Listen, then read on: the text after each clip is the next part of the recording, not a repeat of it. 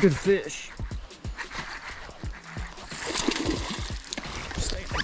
Hey, there we go right there, guys. Here we go, guys, a lipless crankbait fish right there.